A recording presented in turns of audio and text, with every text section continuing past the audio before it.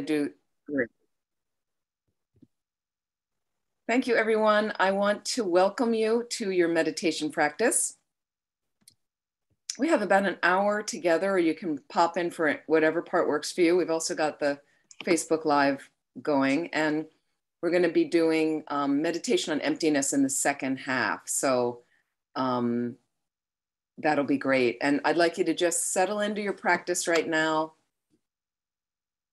Find that comfortable position for your body.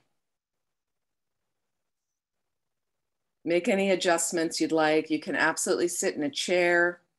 If you are in a chair and the chair is not wide enough to have your legs crossed, then have your feet straight down, flat on the floor, and feel that grounding with your space. Or feel free to sit in any cross legged posture that works for you that supports an extended spine, as if your sides are long, Lama Zopa Rinpoche says. Head is slightly tipped forward, so it's not up here, causing distraction, down here, causing drowsiness.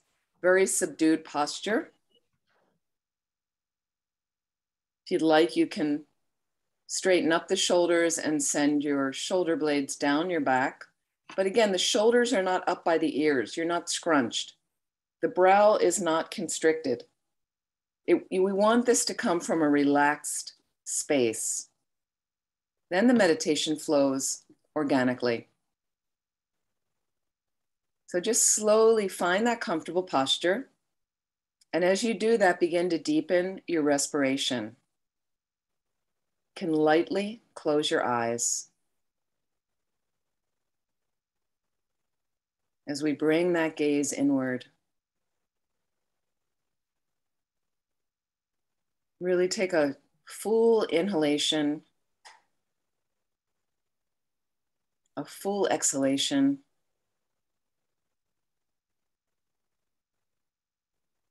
With each full inhalation, imagine bringing some positive energy into your body mind experience. We can inhale joy. And upon an exhalation, releasing something you don't need right now that is not beneficial we could release despair.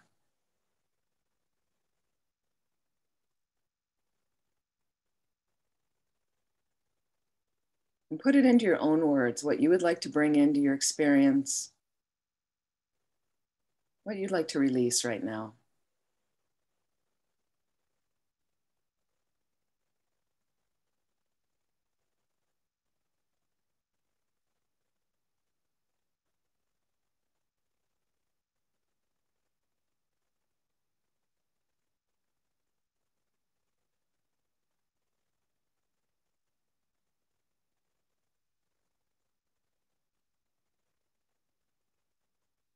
A very important component as well is to check that you are relaxed as much as possible. You could even start at the top of your head, scanning down through your entire body, checking any places you're holding tension right now. Every exhalation, releasing some of that tension. Every inhalation, bringing it in space to those tense areas.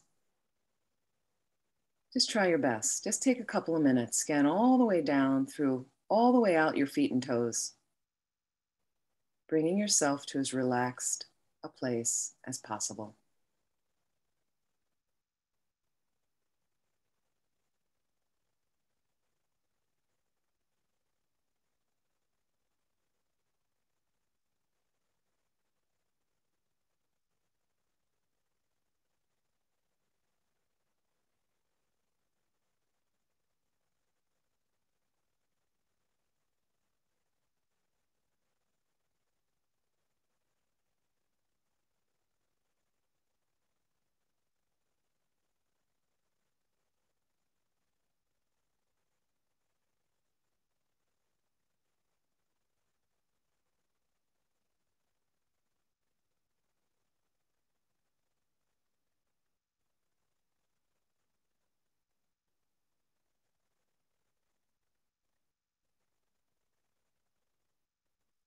Can let go any expectation you have about this period of meditation.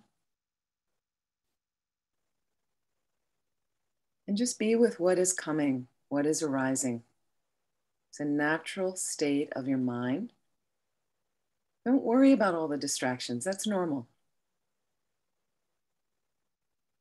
The one thing that really helps us now is also to direct our motivation in a good way. This is you directing your awareness rather than having the distractions pull it into different directions. So we're very focused in our tradition on benefiting all living beings. If that interests you, feel free to include that in your motivation right now. The best way for us to do that, according to this tradition, is to become a Buddha, a fully awakened being fully awakened being. So feel free to include that or at least setting your mind in a most positive direction. Take a moment right now and set a good motivation for our time together and all the activities of the rest of your day.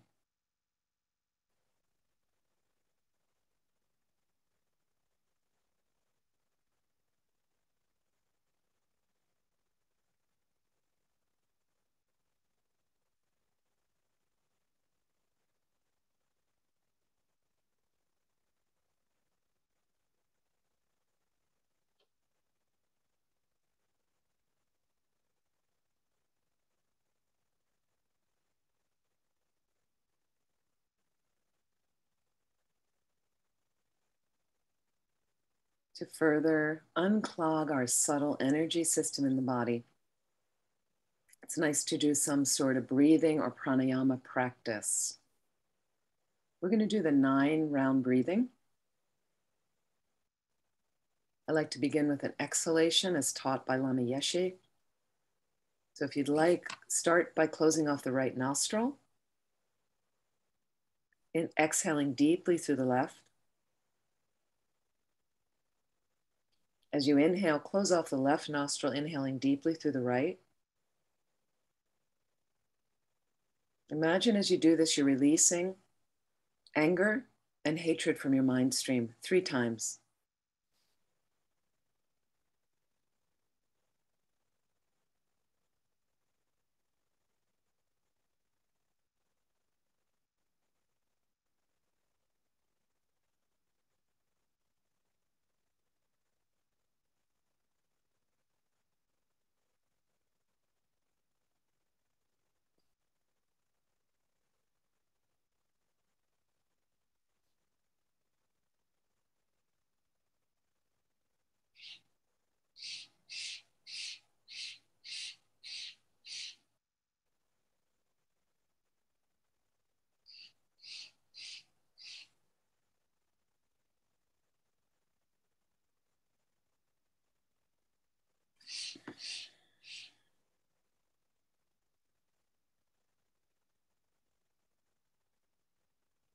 Our next round, we're going to reverse.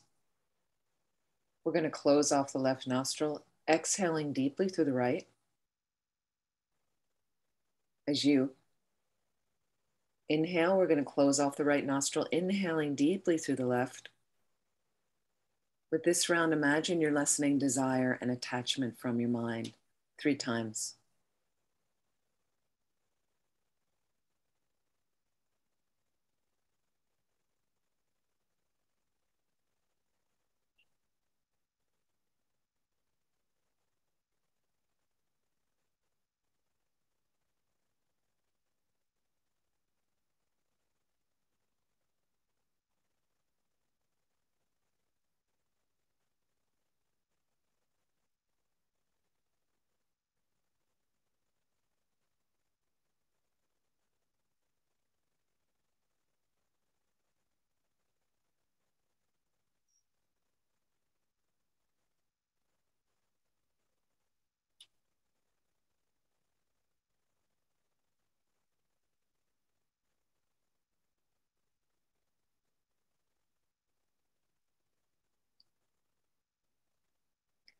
Our last round, we're going to be exhaling deeply through both nostrils, inhaling deeply through both nostrils.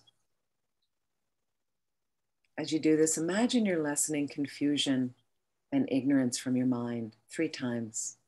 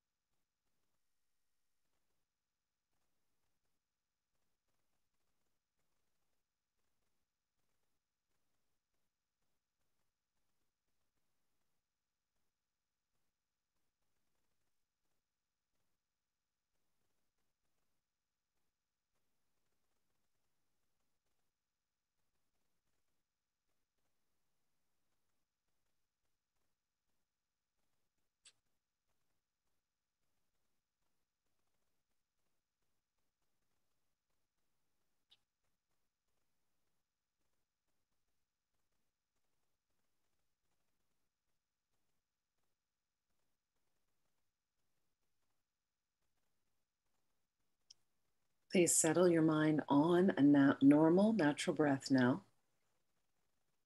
So we're not doing deep breathing or ujjayi breathing like in yoga, just a normal breath. If you'd like to follow that air as it comes in and expands the lungs, perhaps your abdomen shifts. Upon an exhalation, the contraction and the air up and out the nostrils Feel free to keep your mind focused there or the space just outside the nostrils where the air enters in and leaves the body. Whichever you like, keeping the mind focused there. It is very normal for your mind to wander. Relax. Simply become aware your mind is off the breath and gently, without any further story or elaboration, bring your mind back to the breath. Five minutes.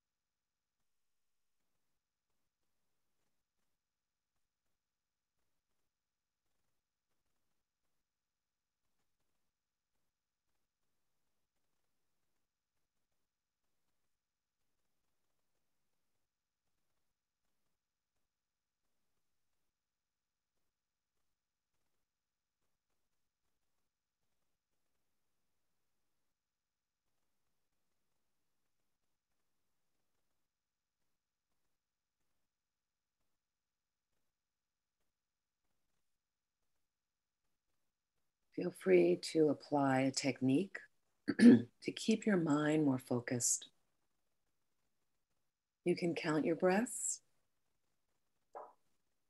So, one inhalation, one exhalation counts as one. You can see how far you can count before your mind wanders. If it does, simply become aware gently. Bring your mind back to the breath. Begin counting again at one. You can also label your distraction and let it go, like bubbles in the sky. So perhaps it's a thought, some mental activity that distracts you. As soon as you become aware, just label thinking or thought. That's all. And back to the breath. Maybe there's a sound that distracts you. Simply label it hearing or a sound. Back to the breath. Just try your best. Five minutes.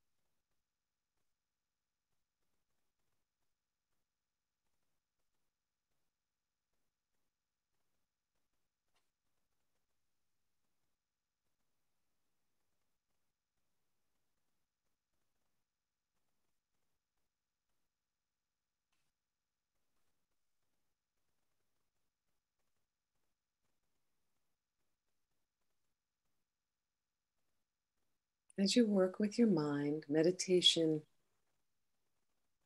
is this form of getting to know your mind.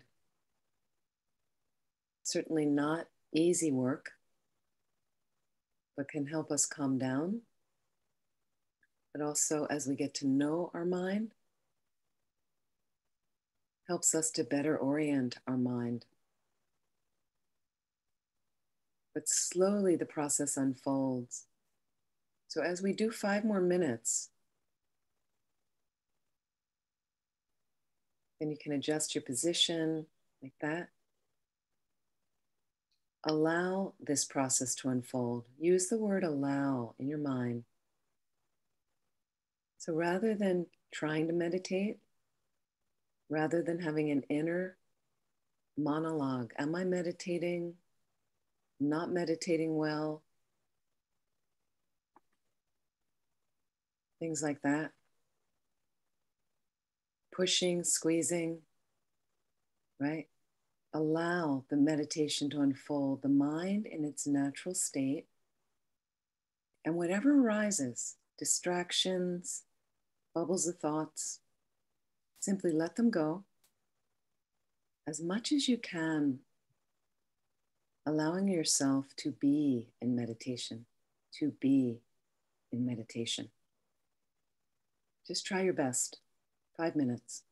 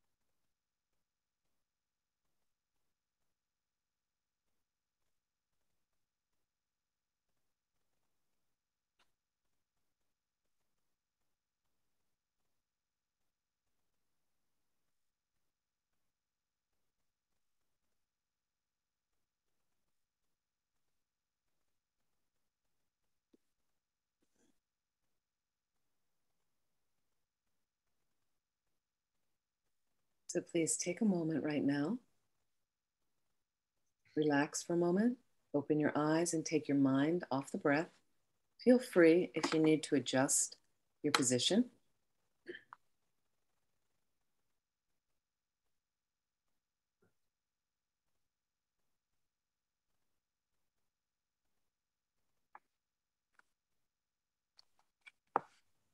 And as you do, I just want to give you just a preliminary thoughts about meditating on emptiness, which is not easy to do. It's a very profound part of our philosophy. And the problems that we have is all rooted in the solidity we place on the concept of ourself the concept of ourself, me, myself, and I, or people say I, me, mine, this I that arises as this very strong, solid, independent sense of ourself.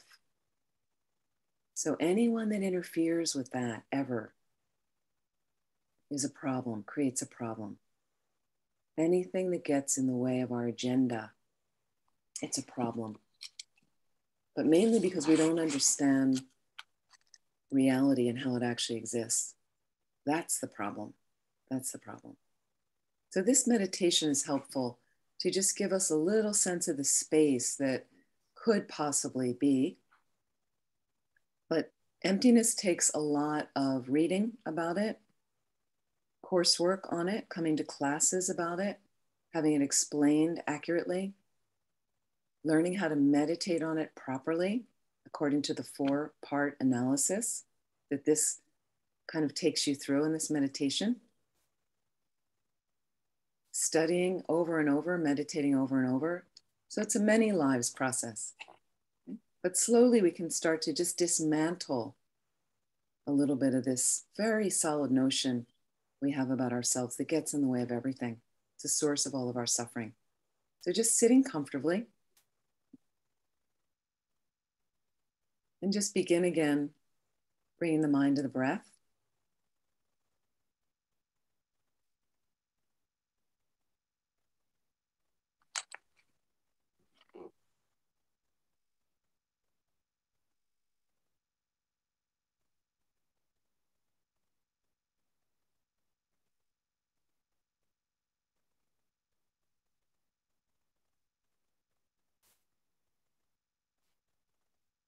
So, slowly, right now, with the alertness of a spy,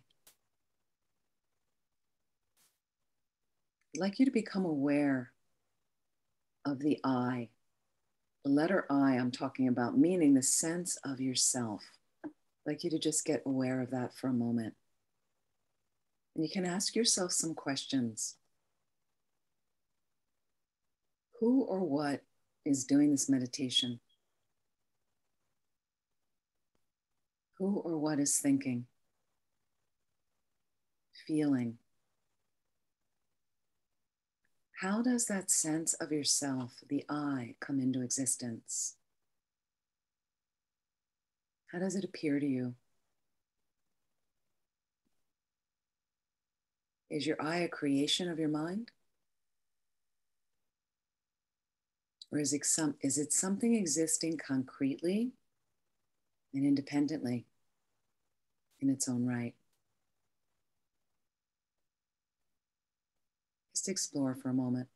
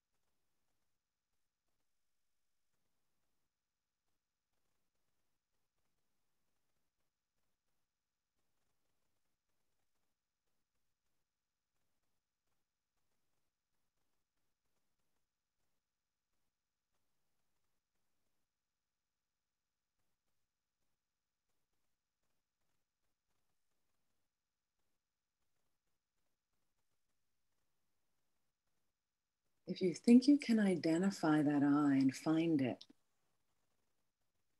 let's locate it. Where do you think it exists? The sense of yourself has to be somewhere.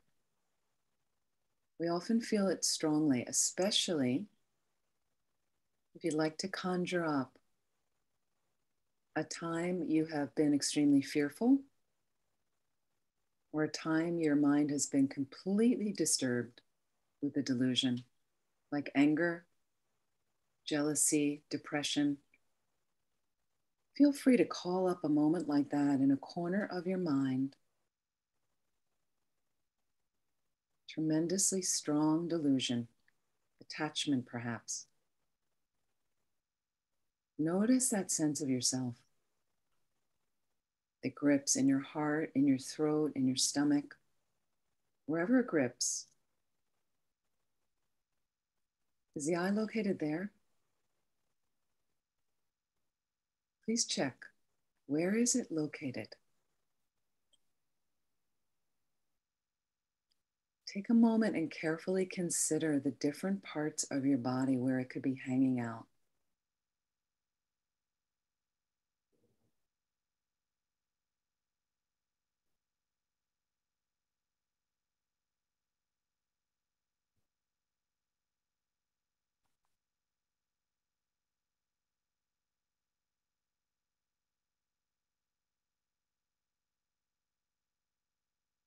Can you find the I in your body, just your body right now? And consider it may be very, very small. So consider the molecular makeup of your body, the small cells, tiny particles. Can you find your I in the body?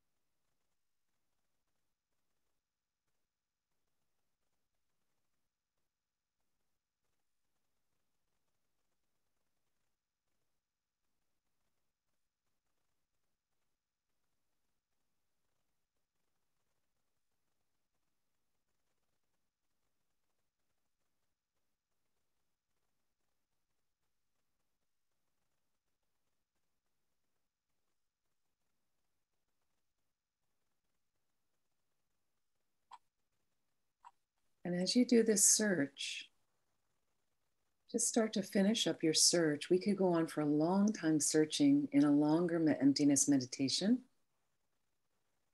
But just like you just check right now, does the I seem as vivid to you as it did in the beginning? That sense of yourself? As you look through the body, are you finding the I there? Just notice how that relates to that vivid sense of yourself. Is it changing that at all?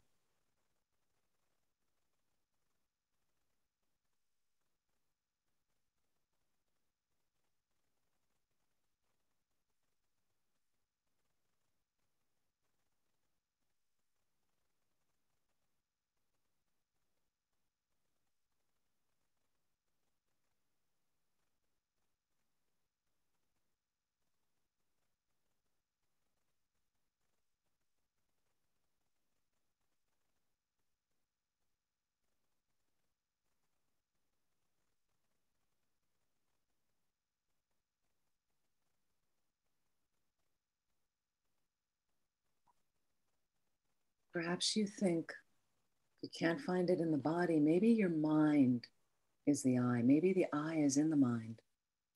Let's look at the mind.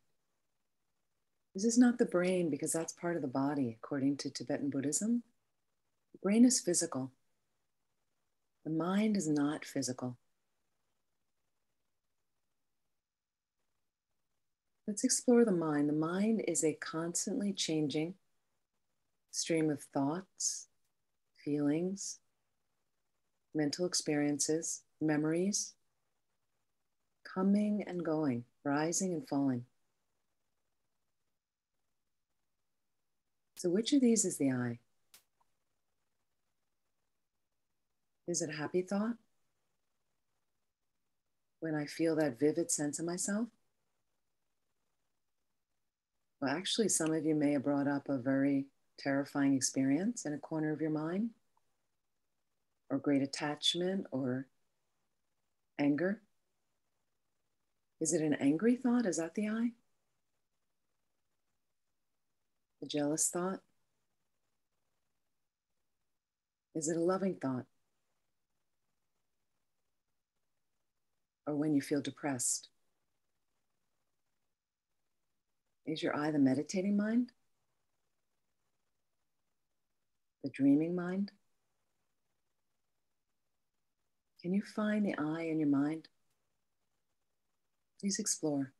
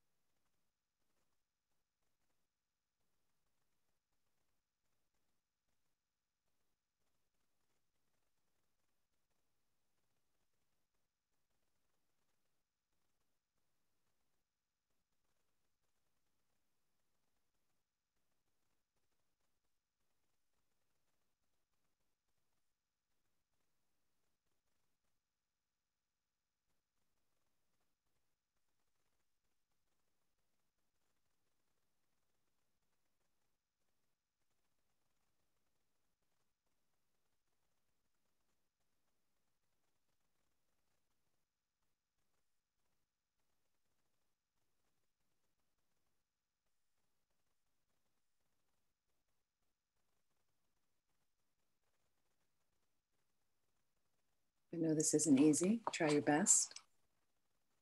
So when we analyze, when we analyze, the I has to be the same as that feeling, identical. Has to be one, we say, with that experience or that moment of mind. That's what the mind's made up of, that moment of mind. So even if you say, I think the I is the present moment, Tibetan Buddhism would say that present moment is made up of parts. It has a beginning, a middle, and an end. Is it the middle of that present moment? That's where the I is. This present thinking moment. Tibetan Buddhism would say even the middle of that moment can be further broken down into a beginning, a middle, and an end. And on and on. So every single moment of your consciousness, every single piece of your body can be further broken down into its parts. If you think the I is in your heart, the heart is made up of many parts the aorta, the ventricle, the top, the bottom, the inside, the outside. So you'd have to say there's only one I. Which one of these parts is the I? And if you say it's the top part of the heart is the I, the top part is also made up of many parts. And you can go all the way down to molecular level, and those parts will continue to be broken down.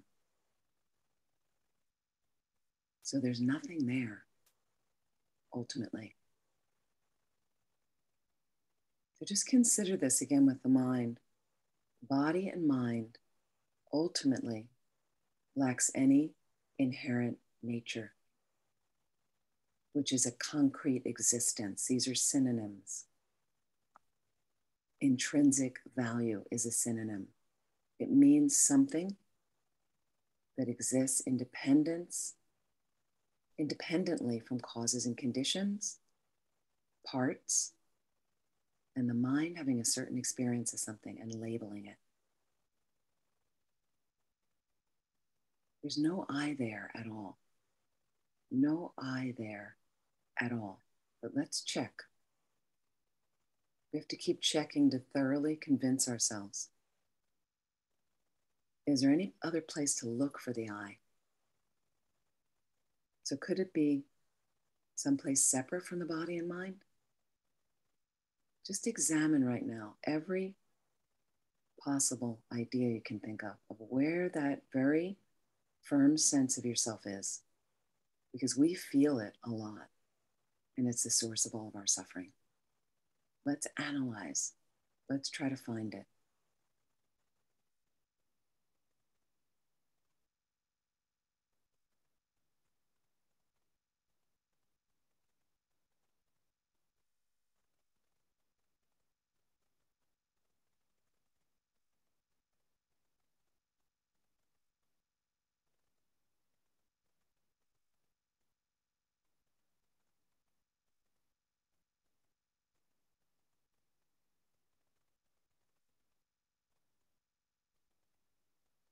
Maybe you think the I is in your brain. The brain's made up of parts. So, once again, all of those parts, just consider for a moment, all of those parts can be further broken down. Can you find that essential element of the brain that is your I? Can you find the essential element of your heart that is the I? Or your mental consciousness if you think the I is there.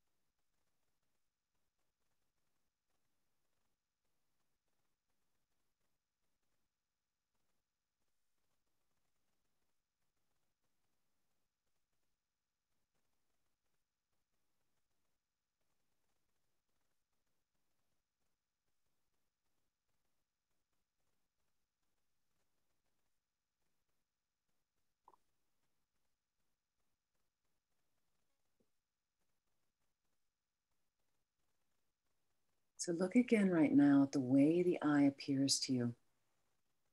How does it feel to you right now? Have you noticed any change?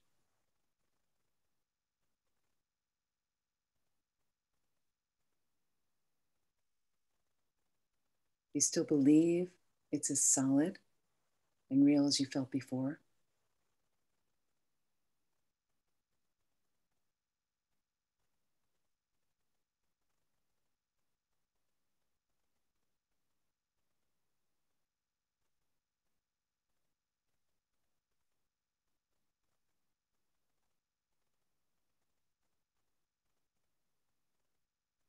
So let's slowly now mentally disintegrate the body. So don't worry, you're still here. It's going to be okay. I'd just like you to imagine for a moment all the atoms of your body separating, completely floating apart. So, billions and billions of these minute particles simply floating off throughout space. Imagine as if you can actually see this.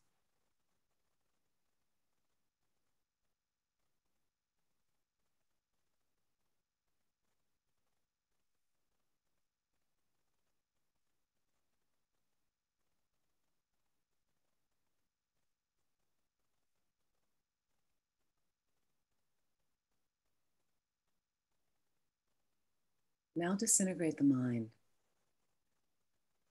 So just let every thought, every feeling, every sensation and perception float away.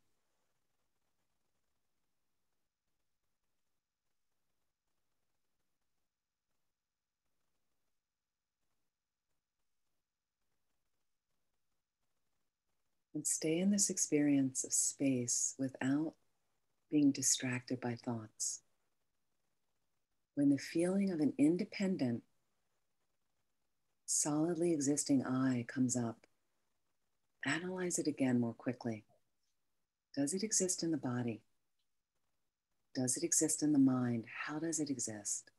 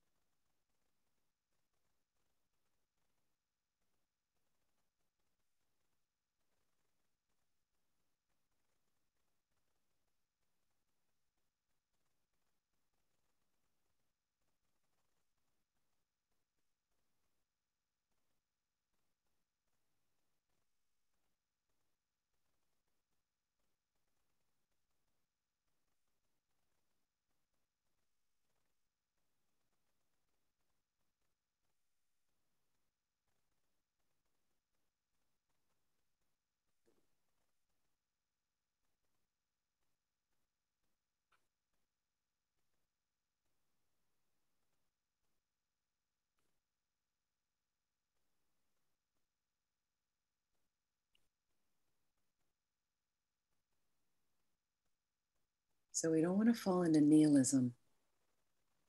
My body is not the I, my mind is not the I, it's not there, so I don't exist. You do exist, and you're sitting here meditating right now. We want to find the middle way between the two extremes of something I'll call concretization or reification. These long words for making a solidity of our I. It is not the way it exists. And we want to avoid the other extreme of nihilism. Nothing exists. The middle way is I do exist, but in dependence on my body and mind. And it is on that dependence when you were born so, one form of you, you could say, was baby. And then a name was placed on you. And then you, as that being, as Patty, as Kath, then emerged, then came into being based on and dependent on your body and mind. That's why we can say, I am meditating. When your stomach is empty, you say, I am hungry, but it's your stomach that's empty. That component combined with the body and mind, we then label, labeled by the mind, I am hungry. So, whatever exists is necessarily dependent upon causes and conditions, parts, and names for its existence. That's how things come into existence. That's reality. As Lama Yeshe would say, that's touching reality. Not this false, overblown notion that I exist as the center of the universe, completely independent of anything around me. And there is an interconnection with all of us as well that relates because everything lacks this inherent concretized nature. So we have what's called a relative existence, like a relative truth, that we are sitting here meditating, and we have an ultimate truth. There is no I there, no sense of yourself there ultimately, ever. Doesn't exist at all like that. Concretely, independently in space, does not exist at all. So if you can stay for a moment with the not finding, emptiness is an absence of that I in the body or mind. You have to do lots of meditation to get that feeling of the absence. Just introducing you here briefly. Let's just reflect for a moment again. You check the body, you check the mind. Can you stay with that space like emptiness of not finding the I in the body or mind? Just let go.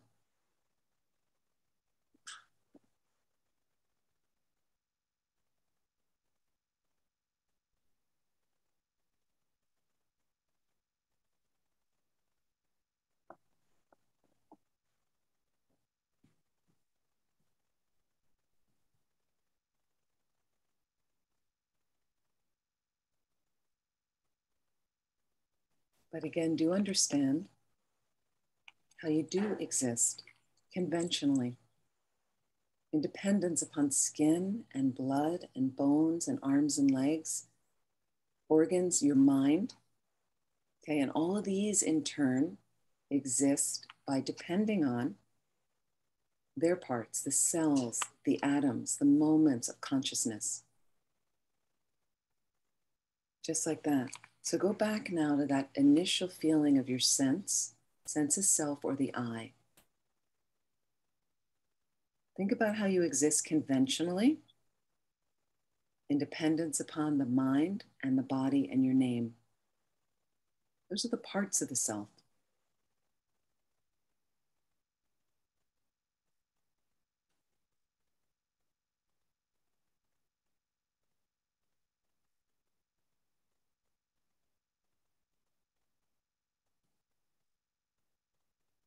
Apart from this sense of, of the I that depends upon the ever flowing, ever changing streams of body and mind, is there an I that is solid, unchanging, and independent?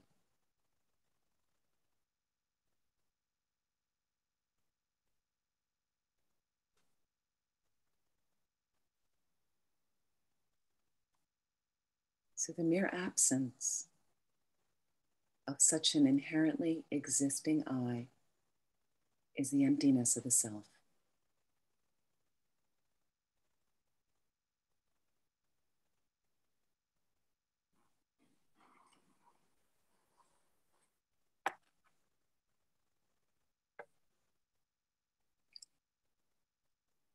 Please relax. And may any benefit, any merit we've created from doing this meditation on emptiness and all the meditations in the past hour. May it help us grow more interest in studying and meditating on emptiness. All of the Buddha's 84,000 teachings were to get us to realize emptiness. That's how important it is.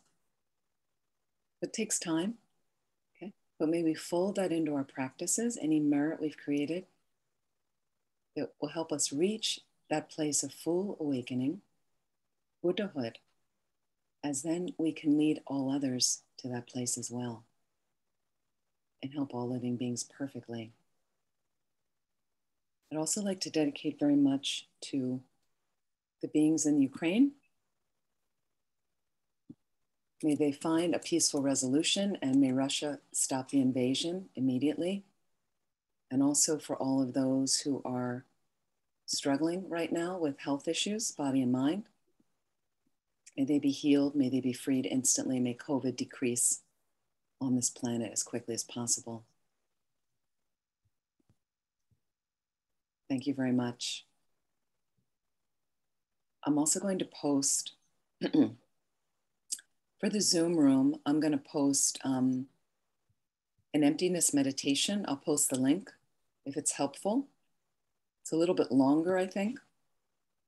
This was from Light of the Path Retreat some years ago, and you can find it on amymiller.com for those of you on Facebook Live. Go to the listen. There's a lot of things on a YouTube channel it's connected to, and if that's helpful for you. Oops, let me just give you this link if you're interested.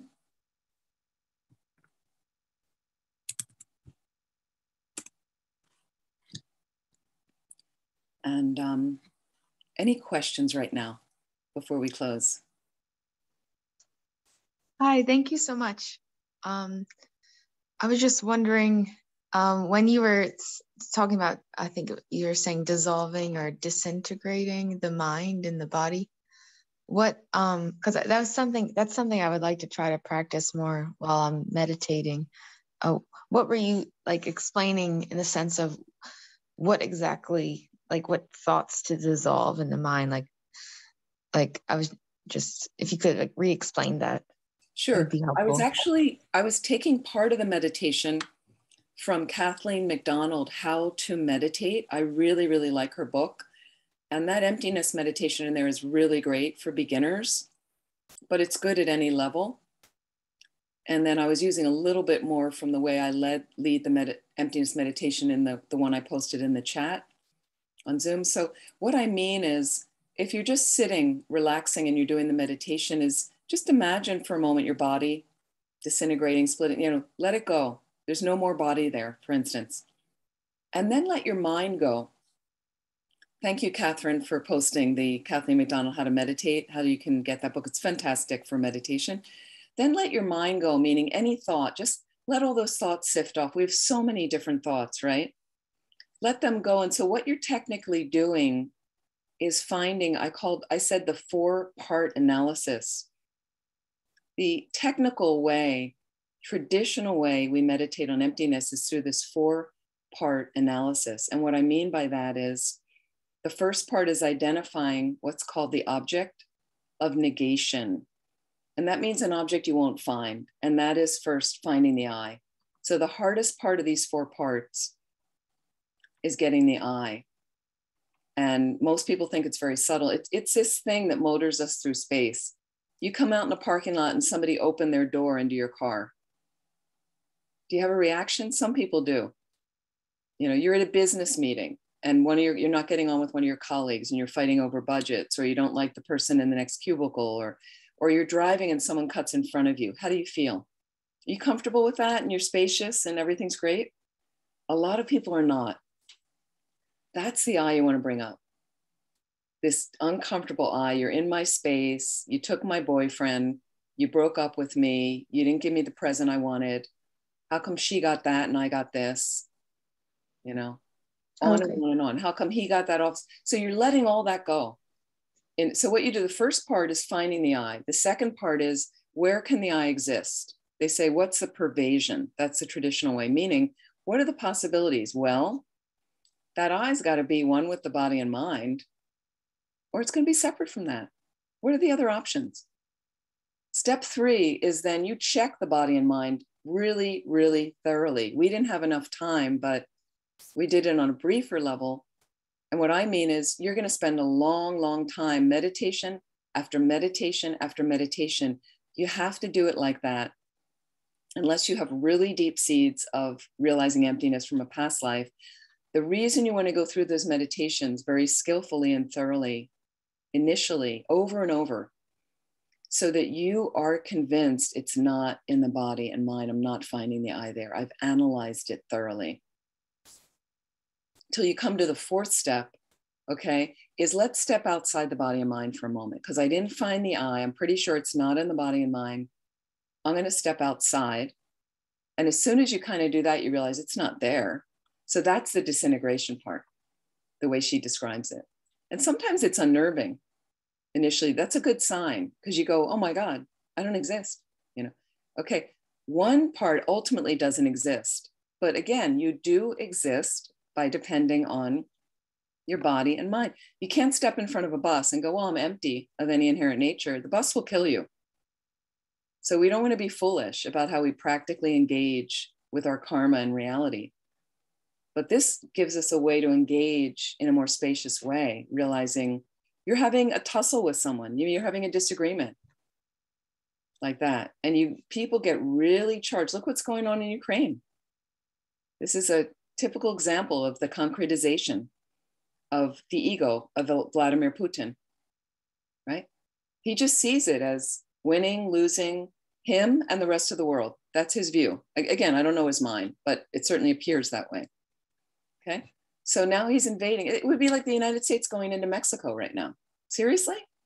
we're going to take over Mexico? Who does he? So, this concretization is the way the world operates. Normal sentient beings suffer from what we call ignorance and confusion because they don't have a direct perception of emptiness. So, that disintegration is simply that fourth step, if that makes sense. Does that help? Yeah, that was really helpful. Thank you. Because I've heard people talk about emptiness meditation before, and I'm always like so confused of what that meant. so slowly, like, slowly, like it's helpful to get a book like How to Meditate, and you just slowly, again, you can check the link here of my meditation. Just go over it again and again and again. You, but it's better to also study. You want to do some reading on simpler books on emptiness so you understand what's happening, so you don't refute too much. You don't want to negate too much where you fall into nihilism. Nothing exists. It doesn't matter. It does matter how you participate in your life. It does matter. Okay, but you want to do it with a realistic balance and strike that, find the middle way. Okay, thank you so much. Sure. Have a great weekend, everyone. Anyone else? Any other? I have a question. Yes. Yeah. I had heard that uh, some teachers say to their students when they think they're getting close to ready for pointing out instructions, they say, go and find your mind and then bring it back to me. So that kind of goes along with what you're saying. Yeah. And uh, can you talk about that a little bit? That's right. I wouldn't have any more to add than what I've mentioned. It's very similar. You know, you you want to go find your mind, and then you realize that it's not exact. It's not at all the way you think it exists. So it's very good to do that analysis. I find it really helpful. Yeah. Thank you very much, everyone. I'm going to stop there. And it's lovely to see all of you. Thank you so much for joining. And uh, look forward. We do have a refuge class on Mondays, 6.30 Pacific time. You can jump in anytime you'd like. Be really great to still get in. There's a Tuesday night class I'm also doing, Tuesday night East Coast, afternoons California time. You can find all of this again at amymiller.com. Like that. Thank you so much. See you next week. Thank you, Venerable Thank, you, so Thank you, Catherine. Bye bye. Thanks, Kath. Please take care, everybody.